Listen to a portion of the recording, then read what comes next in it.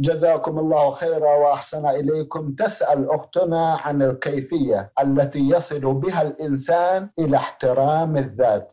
الكيفية التي يصل بها الإنسان إلى الاحترام أن يتقي الله سبحانه وتعالى وأن يحافظ على دينه وأن يتجنب أذية الناس ويبذل الإحسان إليهم. فإنه بهذه الأمور إذا أصلح ما بينه وبين الله وأصلح ما بينه وبين الناس فإنه يكون محترما يكون محترما آه، عند الناس وله مكانة عند الله سبحانه وتعالى يحبه الله ويحبه آه، الخلق. هذا هو الذي يسبب باحترام الذات أما إذا قصر الإنسان في طاعة الله وارتكب محارم الله فإن الله سبحانه وتعالى يبغضه. وإذا أساء إلى الناس وتعدى عليهم وظلمهم فإنهم يبغضونه ويؤذونه.